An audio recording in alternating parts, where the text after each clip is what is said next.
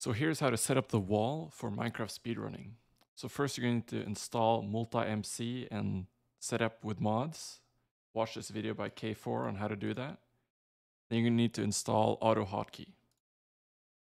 After you've done that, open up MultiMC and click the copy instance button to get multiple instances of Minecraft running at the same time. I've done that here. I have four already running.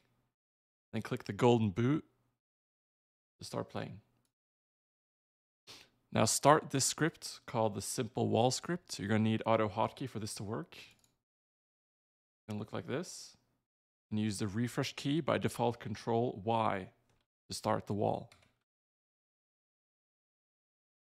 Then use the select hotkey by default control E to select a game to start playing. If you want to go back to the wall, press the reset key again.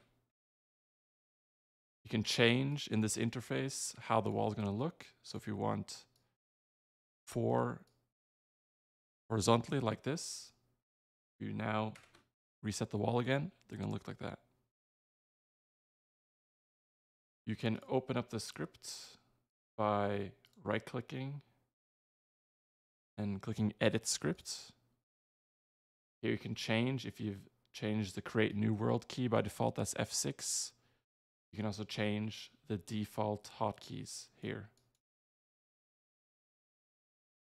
That's all. Thanks for watching.